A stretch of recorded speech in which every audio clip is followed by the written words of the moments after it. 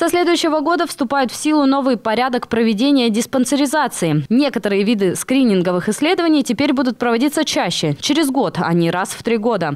Как пояснила министр здравоохранения России Вероника Скворцова, утвержденный ею новый порядок позволит сделать диспансеризацию более адресной. Одна из главных целей – выявление некоторых видов онкологических заболеваний на ранней стадии.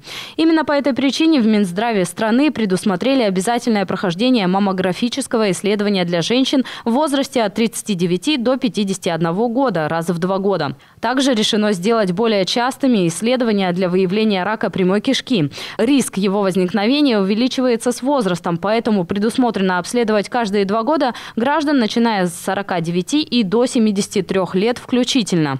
Некоторые виды исследований, наоборот, в ведомстве сочли избыточными, по крайней мере, у молодых граждан. Так, электрокардиография, которая необходима для определения риска болезней сердца и сосудов раньше была обязательной для пациентов, начиная с 21 года. Теперь ЭКГ будут проводить мужчинам старше 35 лет и женщинам старше 45 лет. При этом предусмотрено, что при наличии у пациента индивидуальных показаний врач назначит нужное исследование дополнительно.